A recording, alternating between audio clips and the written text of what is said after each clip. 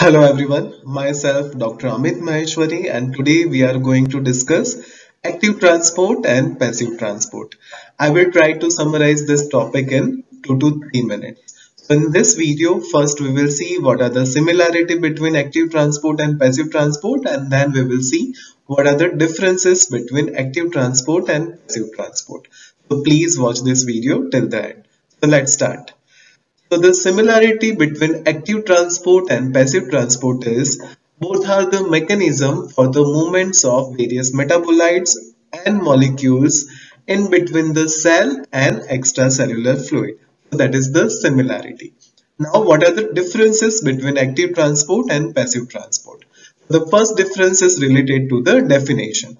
So the definition of active transport is it is the mechanism which is required for the movement of metabolites against the concentration gradient and as it is against the concentration gradient so it will utilizes the ATP.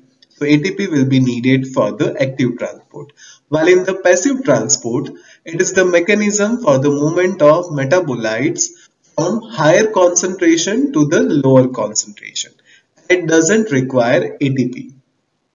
As active transport, it is against the concentration gradient, so it occurs uphill fine. While the passive transport it occurs downhill. And the direction of active transport is it is unidirectional while the passive transport is the bidirectional. Another differences of active transport and passive transports are as active transport it utilizes the ATP so efficiency will be rapid. While the passive transport it will be relatively slower as compared to the active transport. In the active transport, there is requirement of various carrier proteins, while in the passive transport, there is no requirement of such carrier proteins, but in facilitated diffusion, there is a requirement of channel ions. Hence, there is a requirement of various channels. As in the active transport, there is a utilization of ATP so there may be effect of various metabolic inhibitors which will affect the ATP generation. While in the passive transport there is no effect of such metabolic inhibitors as there is no requirement of ATP in the passive transport.